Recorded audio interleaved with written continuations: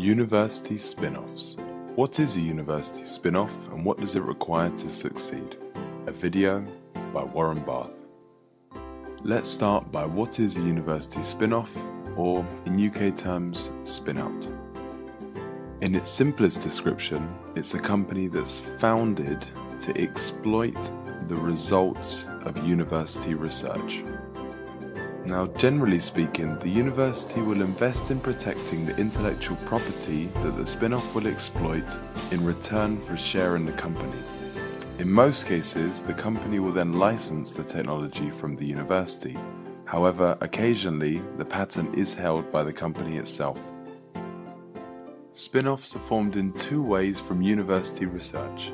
These are known as the inside out approach and the outside in approach.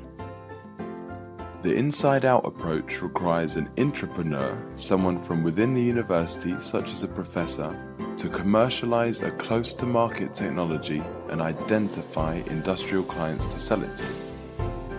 The outside in approach involves someone from outside the university, such as an entrepreneur or early stage startup, coming to the university with the industry needs and seeking solutions to take to market. The technology is still a mid TRL, but the entrepreneur has a good vision of the market and its potential clients. There was a study in 2017 that outlined four key dimensions to a successful spin off. The first is minds. Minds are technology experts with access to infrastructure to develop a product with strong IP. This usually comes from the university. Next is management. A motivated entrepreneur from outside the university or an entrepreneur is required. They must have a good vision of the market and a willingness to convert disruptive technologies into business opportunities. The other key important element is market. This includes a strategy with interested and committed industrial partners and clients. Once all of these are in place, the fourth dimension becomes crucial money.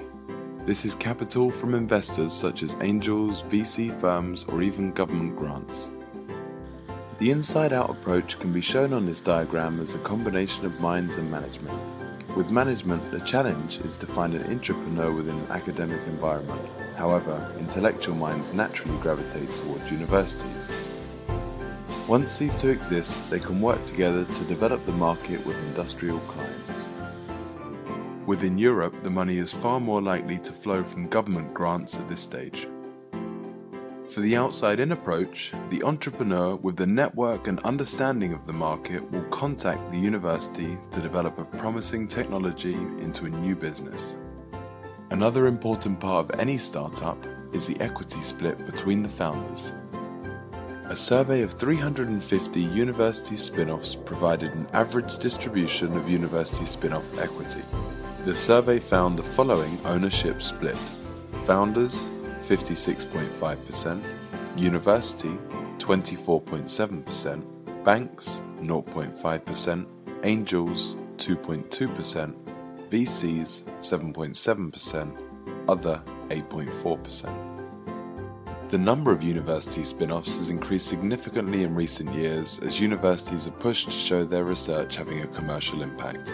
This has led to incubators within many universities to support entrepreneurial activity. I hope you found the video useful and have a look in the notes below for references. Thank you again for watching.